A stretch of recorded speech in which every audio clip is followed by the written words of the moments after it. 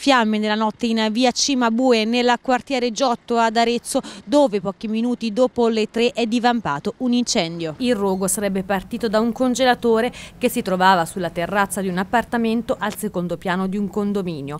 A chiarire con certezza le cause dell'incendio saranno i successivi controlli. A lanciare l'allarme questa notte alcuni residenti il tempestivo intervento dei vigili del fuoco ha scongiurato le peggiori conseguenze.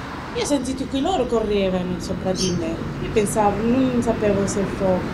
Dopo sono venuti giù da me per chiamare il vigile e mi hanno detto che ha preso fuoco la loro casa. E lì proprio l'incendio forte. Non ci sono stati infatti danni strutturali, gli inquilini sono stati comunque fatti evacuare per ragioni igienico-sanitarie, visto il fumo nero dato dalle plastiche bruciate che si è sprigionato nel rogo. Ma una paura fino alle 5.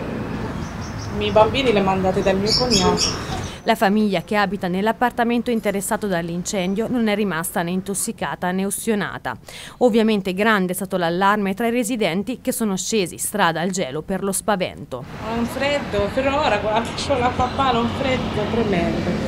Ce la tremavo ancora, quella paura, il freddo, tutto ghiacciato, meno 7 i vigili del fuoco del comando di Arezzo sono intervenuti con due mezzi e sei unità per spegnere le fiamme e bonificare l'aria. Il rogo ha interessato unicamente la zona della palazzina che si trova nei pressi del terrazzo, oltre al balcone dove si trovava l'elettrodomestico. Annerita ancora questa mattina parte della facciata. Ha preso fuoco.